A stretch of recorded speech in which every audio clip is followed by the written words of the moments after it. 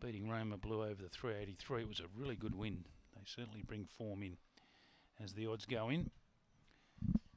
And we just wait for the evens now. Duo Glide Pollinate, Elite Taz, and the, one of the faves or close to Slick Sundance in the eight. So we're nearly right here for the Coolalinga Mowers, race three on the card here in Darwin. Green light on. $2.50, eight Slick Sundance, the favourite. Green light on set away. My shout Zoe got a good start the inside. Slick Sundance likewise goes up to join it into turn one and they've got away. Then Nicanova settling down Duo Glide.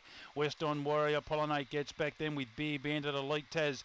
It's My Shout Zoe on the inside. Headed quickly by Slick Sundance who went to the front. Nicanova runs on late but Slick Sundance comes away late to beat Nicanova My Shout Zoe. And then West on Warrior. Beer Bandit Pollinate. Well back Duo Glide.